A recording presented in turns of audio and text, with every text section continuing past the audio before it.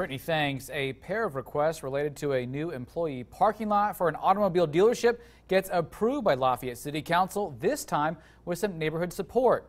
Bob Rohrman Toyota on State Road 26 had been asking the city to give up some land for parking as well as rezone it. As News 18 has reported, the requests weren't popular with some residents and some council members who wanted to get compensation for the land.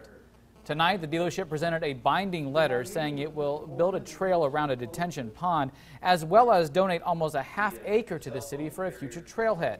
The requests were passed unanimously.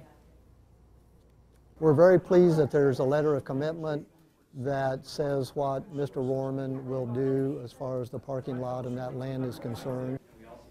The council also heard and passed unanimously the first reading for doubling the fees for not paying parking meters downtown from $10 to $20.